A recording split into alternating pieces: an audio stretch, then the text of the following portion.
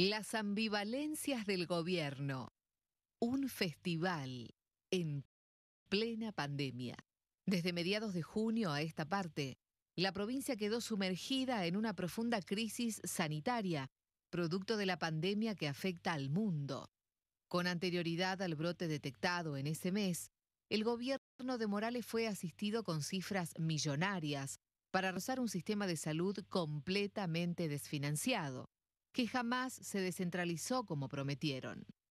Nadie sabe a dónde fue a parar el dinero, ya que el gobierno sigue sin rendir cuentas de qué compró, a qué precio, cómo licitó.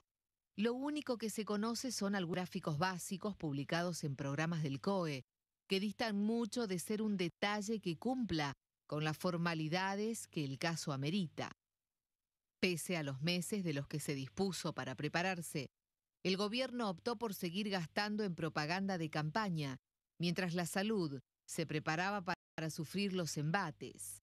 En menos tiempo del esperado, el sistema colapsó y el sector privado tuvo que salir a hacerse cargo del problema.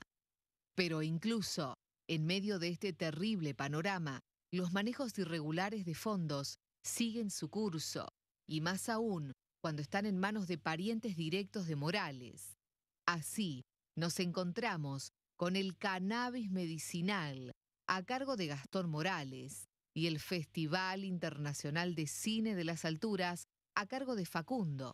Los hijos del gobernador, en posiciones claves, siguen la tradición familiar de no rendir cuentas. En Jujuy terminan conviviendo hoy dos realidades que desconciertan muy cerca una de la otra.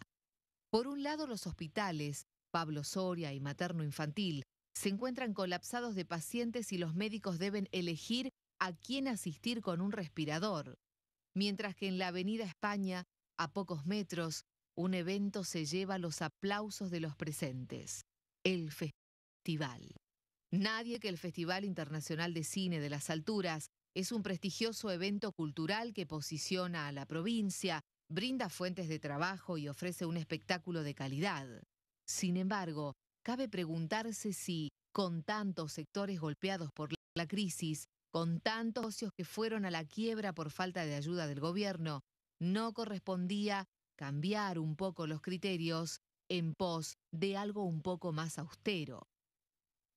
En respuesta a este interrogante, fue el ministro de Cultura y Turismo Federico Posadas el que salió a dar la cara, aclarando que el presupuesto es menor, pero sin dar números reales. ¿Habrá que confiar en su palabra sin más? En términos de presupuesto, es casi una décima parte de lo que se invierte en un festival tradicional, así que esto también eh, está bueno entenderlo porque es una forma de adaptarnos a la coyuntura, pero también los, los recursos del Estado. Cada vez son más los medios que reparan en los desmanejos y el nepotismo del gobierno. Las críticas están a la orden del día y apuntan contra las prioridades del gobierno, mientras, dentro del propio sistema, se plantean casos insólitos, como cuerpos de víctimas del COVID que son entregados a la familia equivocada. Situaciones inverosímiles que son consecuencia de una evidente organización la misma que advertían los terapistas que llegaron a Jujuy. Los negocios de la familia comienzan a incomodar incluso dentro de las filas del radicalismo y la oposición ya advierte sobre maniobras escandalosas que tendrán consecuencias a futuro. Pasear para ver cómo funcionaba eso del autocine. Eh, yo pensé que lo iban a suspender. Digo, bueno, a última hora más se suspende porque no van a cometer esto de de, de, reunir gente en medio de una cuarentena.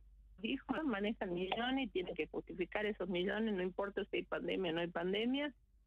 Y, y además lo hacen para para, para estas actividades que nada tienen que ver con las cosas que necesita Jujuy.